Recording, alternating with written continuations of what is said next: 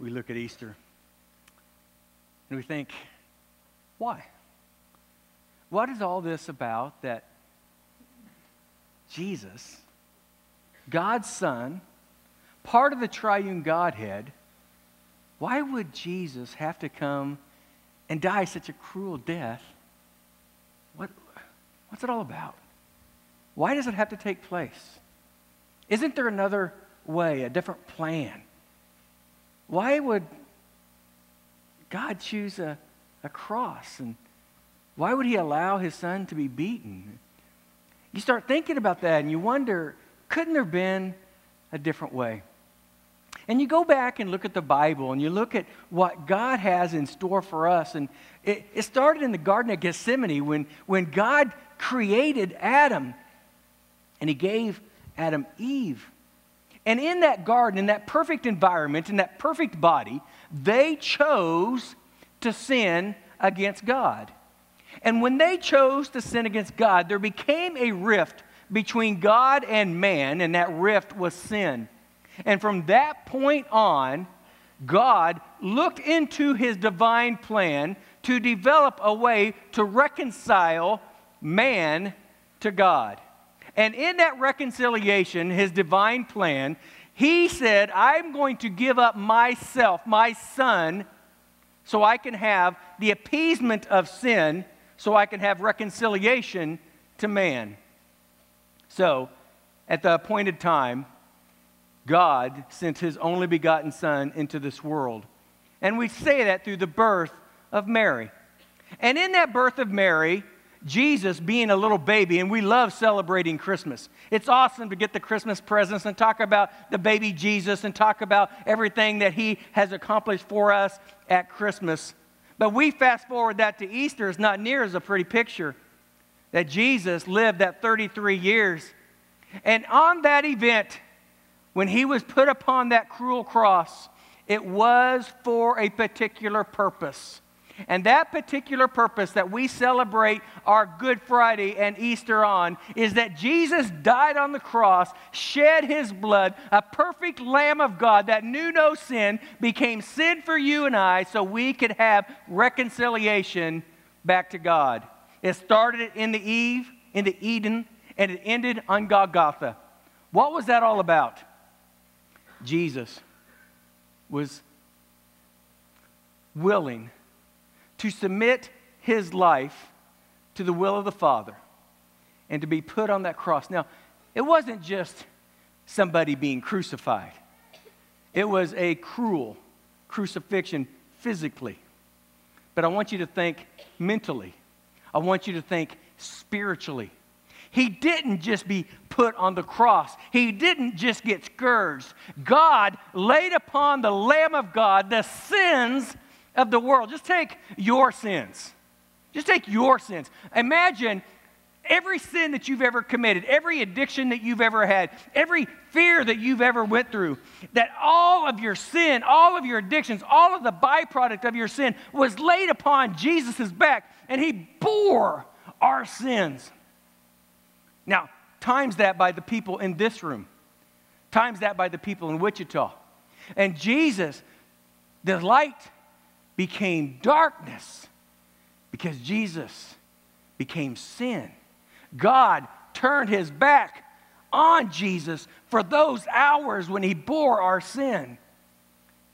So here, the Lamb of God, Jesus, our Savior, that we call Lord Jesus Christ, we call him that for a reason because he took your sins, he took my sins. So when we celebrate Easter, when we talk about the cross, the cross around our neck means something more. It is not just something that we can look at, it is something that we can adore because on that cross, we became believers. Because of what he did, we have redemption, we have an advocate, we have heaven. He came off of that cross and he was put into the tomb. And on this Sunday morning, we celebrate a resurrected Christ. Jesus is not dead. Jesus was in that tomb. He conquered that tomb. And three days later, he arose and was victorious and was witnessed by men for 40 days and ascended into heaven. But today, we want to look at three different characters that encountered the cross. Three different, three different encounters that the cross made an impact. The first encounter was with a man that was crucified with him Jesus in the center, dying on the cross for your sins and mine. A man on the right and a man on the left. A man that deserved to die because of his sin. A man on the left deserved to die because of his sin. But Jesus didn't look at the sin of these men, he looked at their heart. And when Jesus looked deep into the heart of an individual, and because of their testimony, the result of these men dying were totally different because Jesus looked past the sin and looked at the heart, the confession of the individual. What would it have been like if you would have been a thief on the cross? What would it have looked like? What would you feel like when you came off that cross and you had been forgiven? Let us watch and listen to the thief on the cross.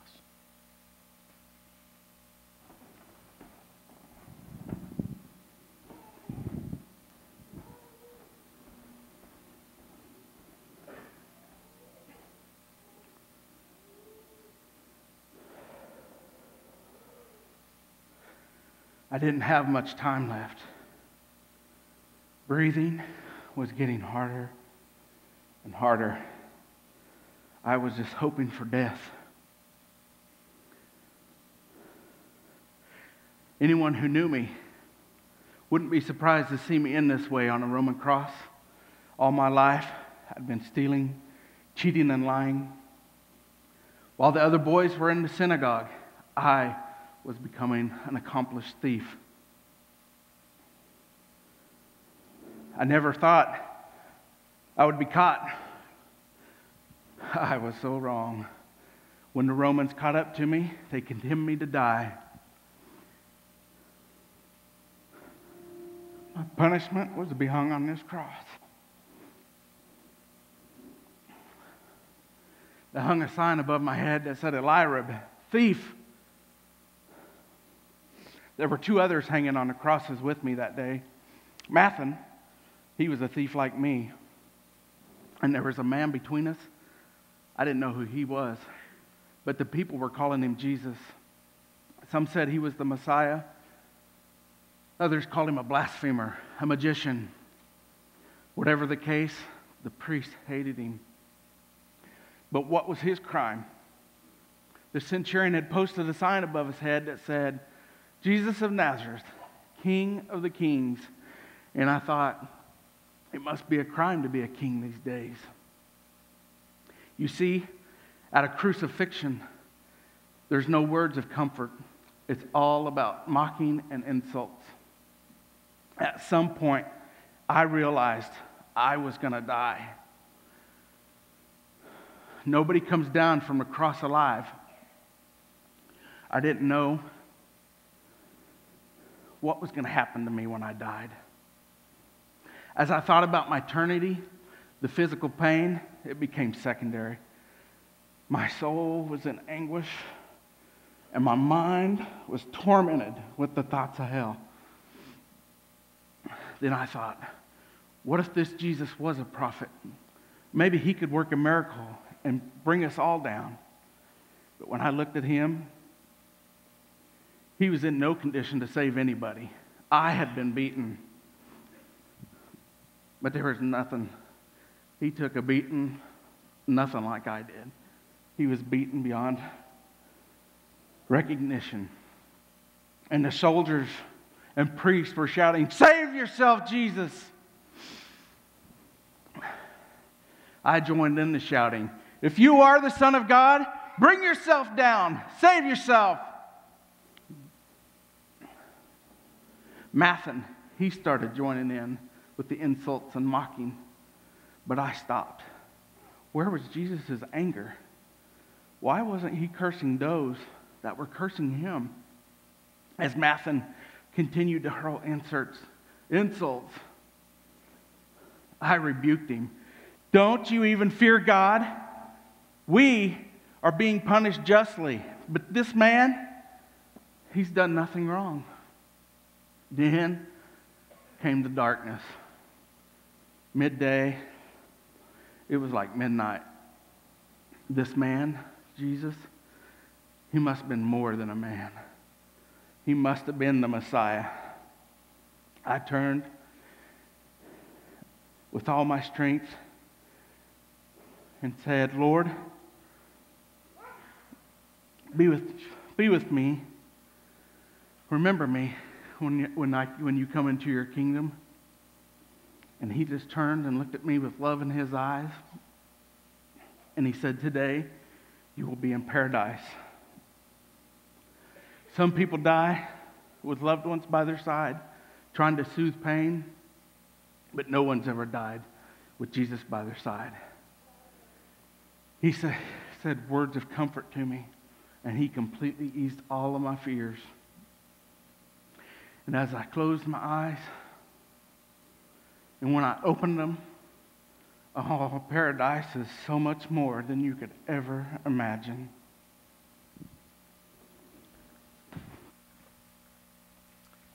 As you look on the left and you look on the right, you can see yourself either accepting or denying, opening your heart to or saying, It's not for me. But the Bible says it's appointed a man wants to die, and after that, the judgment.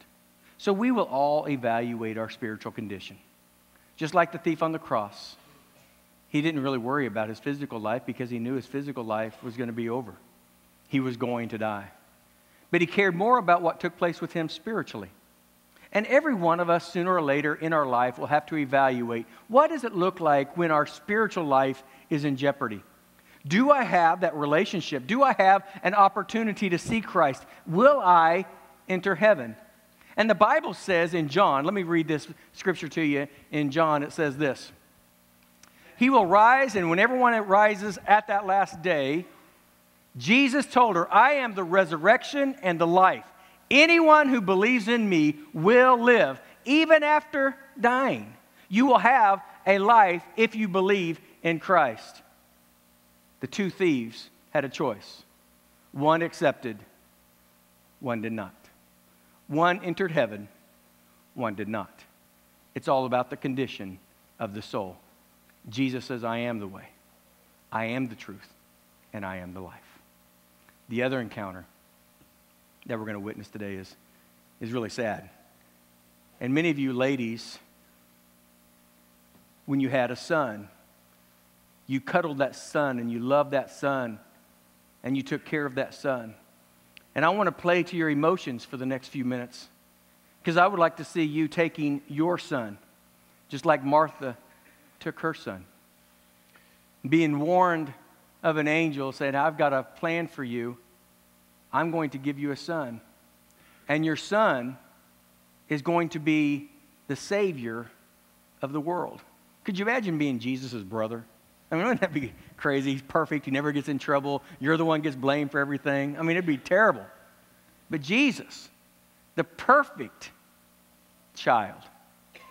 Mary said, If that's your will, let it be so. So here, Mary took this little baby out of her womb and nurtured Jesus, trained Jesus. And then you see, until Jesus was about 30 years old, and then Jesus says, I, I have to be doing my Father's work. And then the last three years of Jesus' life, he started teaching and preaching and started doing the miracles that he performed until about the last week and the last week of his life, everything changed. Mary was still following him, was still witnessing him, was still ministering and watching. Mary watch Jesus go down Golgotha's road, the Via Dolorosa, the place of the skull. Mary watch him get beat. That's my son. We all understand the love that we have for our son. But Mary remembered what the angel told her before Jesus was even conceived that you're going to bear a son, and your son is going to be the Savior of the world. Your son is going to take the sin of the world upon his back.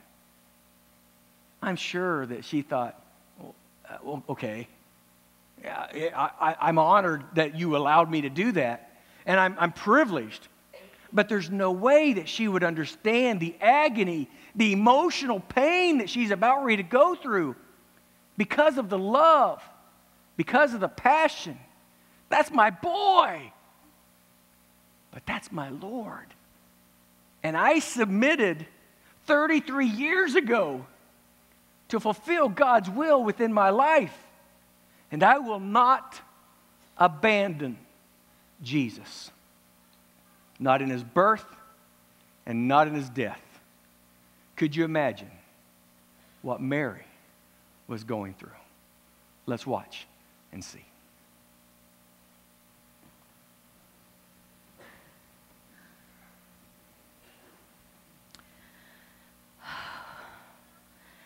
If I could have, I would have been anywhere but at the foot of his cross that day. Every time I dare glanced up at his body, the, so distorted, the jeering remarks from the crowds, the hatred from them, my heart broke. They even laughed at him. They laughed at his suffering and his pain. It was just like Simeon had said. He prophesied. It was like a sword piercing through my soul. I wanted to run. I wanted to take him down from there and take away the pain and the humiliation. I, I was his mother, yet his face, his face was so beaten, I could hardly recognize him. My own son, I could not recognize him. All he had ever done was good. He'd, he'd fed the multitudes and, and healed the sick and the lame. He even raised from the dead. Yet they crucified him like a common criminal. They put nails in his hands and his feet. Sometimes I can still hear the pounding of the hammer and I could see the soldiers gambling over his coat. And I could hear the mocking crowd. And where were his disciples when he needed them the most? They'd all fled. All but John, dear, faithful John. It's no wonder my blessed son had asked him to look after me. My husband Joseph, he was dead, and and I had other children, of course, but Jesus was my firstborn. He felt it was his responsibility to take care of me. After all, he was God's son come in the flesh. And in the midst of all of his anguish, he cared enough about me to make sure that I was taken care of. Oh, That was Jesus, always thinking of others and never himself. Oh, and Judas, Judas, I wanted to hate him so much for what he'd done to my son, but I couldn't. I couldn't. I didn't understand what was going on at this moment, but I knew. I knew my, my God had a plan and that all things were going to work together for his perfect will. The Lord, the Lord had chosen me me to give birth to his son, little Emmanuel. God with us. I had been blessed above all women, yet I knew, I knew that his coming was for me as much as for anyone else who would call upon his name. I needed him to save my soul as much as the most wicked person, wicked sinner in the world. I put him on this cross He's hanging there for my sins, my sins, and yours. Oh, how I loved him as a little baby in that stable in Bethlehem. How I loved him for living a sinful life for others to see. Oh, how I loved him for the miracles he performed and the compassion and forgiveness that he had for people. How I loved him for bringing victory over the grave, not just for himself, but for anyone who would believe in him. Oh, how I love him for being my Savior.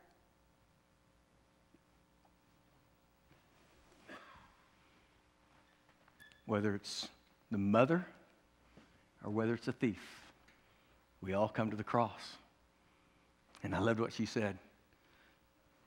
She had to go to Jesus for her salvation, just like the most rotten sinner, such as the mother of Mary, had to come to Jesus for her salvation. Oh, the encounters at the cross. But there's another encounter that was a very sad encounter an absent encounter. I could remember growing up in a little town in Kansas where there was farm animals around and you would hear the roosters crow.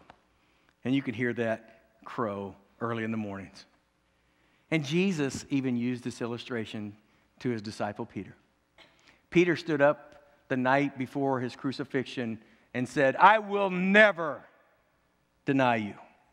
I will be beside you.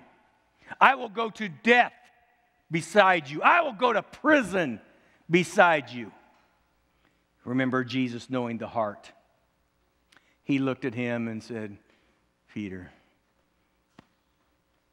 you don't get it. The arrogance that you have, that personality that you can control, Satan is going to sift you and you are going to fall to that temptation and you're going to deny me before the morning. And he said, No way. Never happen. It won't happen. And then the denial, then the depression, then the sadness. Can you hear it? In your own life? Can you hear it the times where Christ called you? He asked you. And in the quietness of yourself, you could say, Yes, I'll do whatever you ask me to do. But in the midst of adversity, in the midst of chaos, somebody confronts you. Uh, not me. I don't want to do that. You take a back step. And the backward trend of our standing up for Christ, sooner or later, we have just put it off delayed it, said no. We have failed. What is Jesus going to do with me? I used to follow him. I loved him, but I failed him. The greatest picture of a real life testimony is not the thief on the cross because that doesn't fit most of us. And it doesn't fit the mother of Jesus because that won't fit all of us. But the story of disciple by the name of Peter fits you and it fits me every day. What would Jesus do with this man? What would Peter do after denying this man? Let's listen as Peter comes and talks to us. Get out of my head! Get, please leave me alone! Get, get out of my head! Can't you hear that? Can he tell me you can hear that? That, that rooster in my head.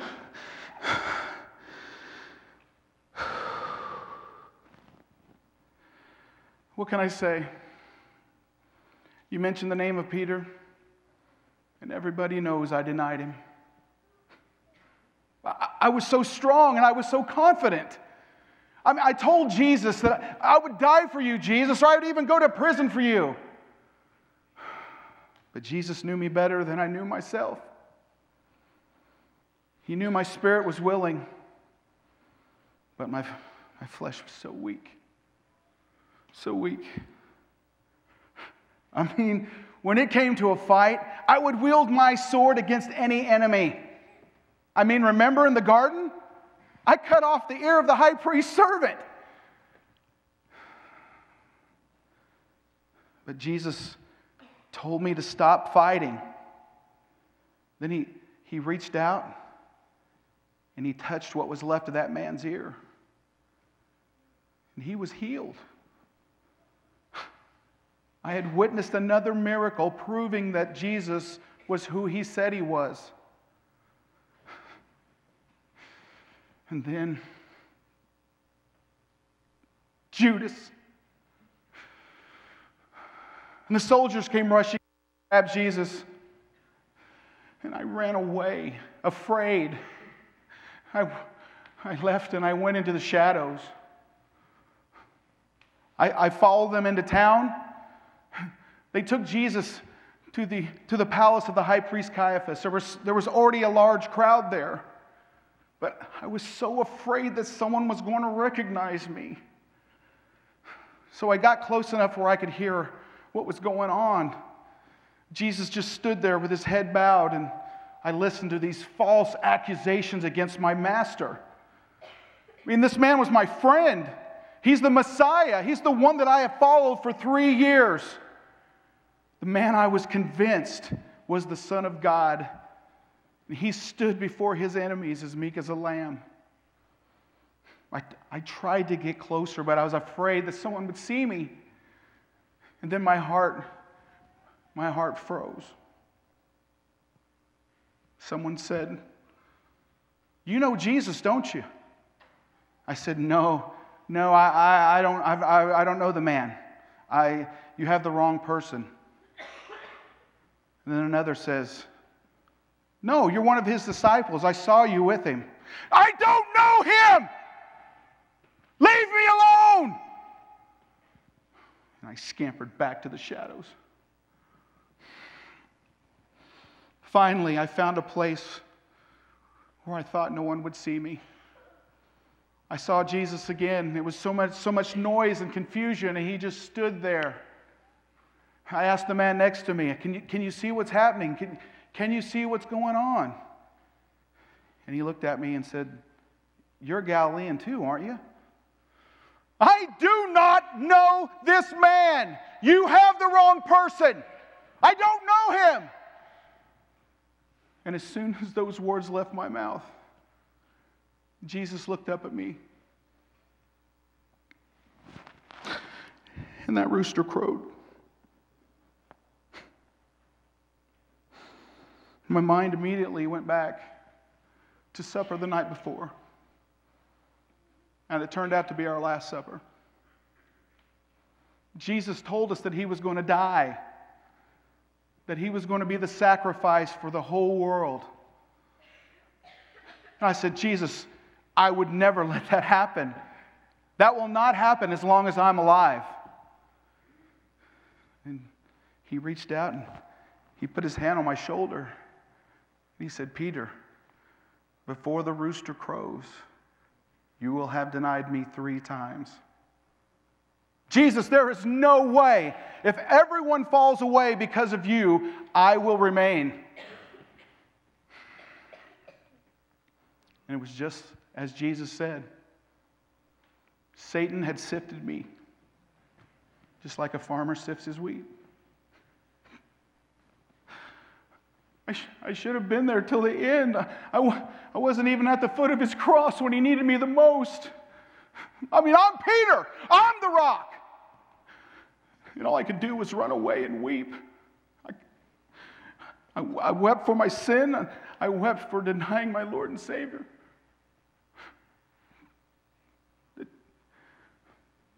Don't look at me like that. Are you trying to tell me you've never denied him? I'm sorry that That wasn't fair. I'm sorry. What can I say? You mentioned the word Peter,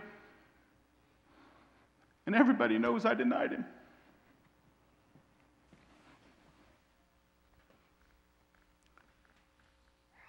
That is a character that we all can identify with.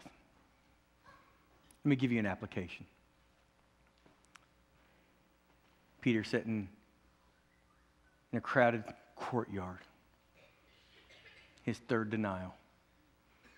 The Bible says that when he denied him for the third time, Jesus turned and stared. He stared right in his eyes, as if he already knew what was going to take place. Peter, seeing that, seeing he denied Christ, he took off and run.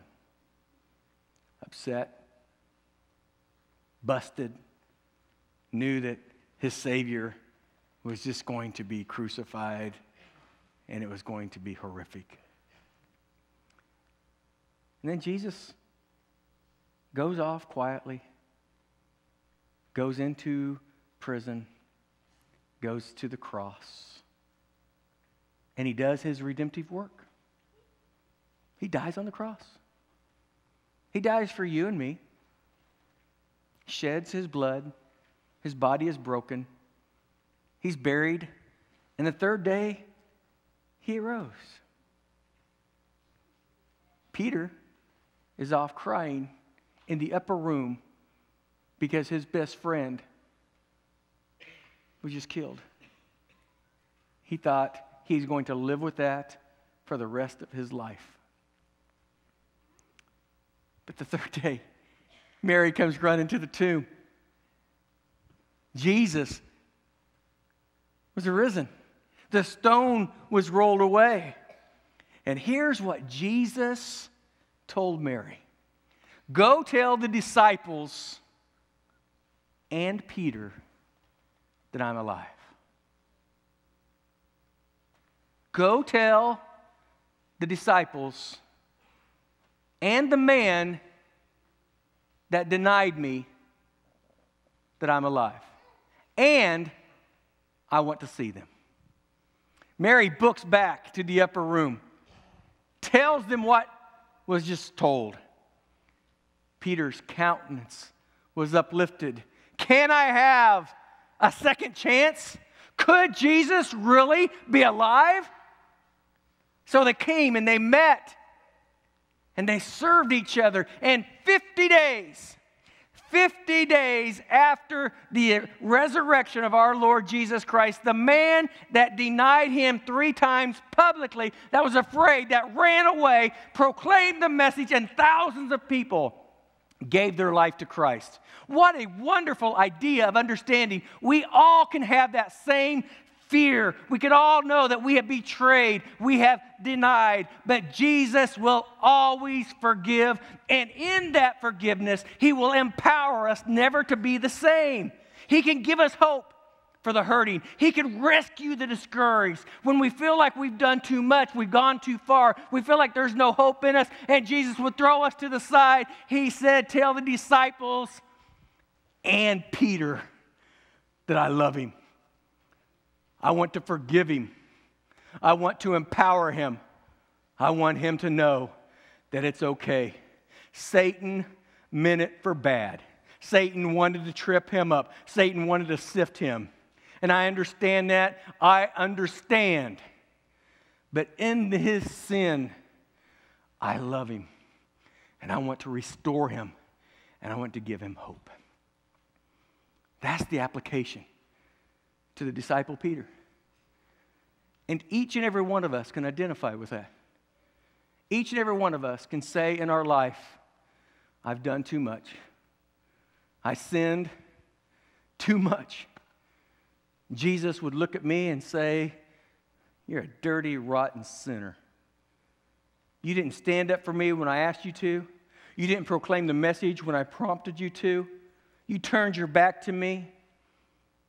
And then in our spirit, in our fear, we would bow our heads and go off our little way and say, You're right. I'm worthless. I'm scum. Jesus would not forgive me. But Jesus says, This is what it's all about. That is what the entire redemptive plan of me being in heaven at the beginning of creation, coming to this sin filled world, dying a cruel death so I can restore you, so I can forgive you, so you can look at the Father and say, I love you. You can look at Jesus and say, Thank you. That's when we look at the cross and we say, I can't glory in anything other than the cross. Because if it wasn't for the point of the cross, we would all be in our sin. We would all die and go to hell. But because of what Jesus did, and we have access to Jesus, we all have the opportunity to go to heaven. That is why Jesus. Where are you? Where are you at on the spiritual journey? If I could ask a very simple question Are you satisfied where you are on your spiritual journey? Are you struggling in certain areas? Have you even started your journey? Are you like the thief that you just witnessed Jesus and you're saying, hey, I, I, I want some of this? I need forgiveness. I deserve what I'm going through, but Jesus, He wants to offer you forgiveness. Or maybe you're like the apostle and you said, I've gone too far, I've done too much. Go tell the disciples and Peter that I'm here and I want to forgive and I want to restore and I want to empower. The best day of your life can be in front of you if this day of your life you give it to Christ. Will you please bow your heads? I'm going to ask Joey to come up on the platform. We're going to sing a song of invitation. Not necessarily to come forward, but you're more than welcome to do so. But an opportunity for you to at least communicate to God in a quiet, still prayer of your need for Him. Identifying with the character, identifying that I have failed you and I need you. If you are broken to the point that you realize for that very first time, just like on the hill of Golgotha, and the thief said, I don't care what people think of me, I need Christ, and I'm going to proclaim loudly the name of Christ. He is going to listen, He is going to hear, and He will respond to you.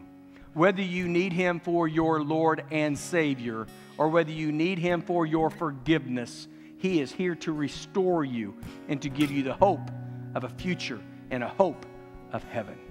Let us please stand to our feet. A time of invitation, a time of singing, a time of reflection, and a time of invitation. If you would like to talk to somebody, please come forward, kneel at the altar. Somebody will minister to you and pray with you, or you could still pray in your seats. But let us sing this song and respond during this invitation.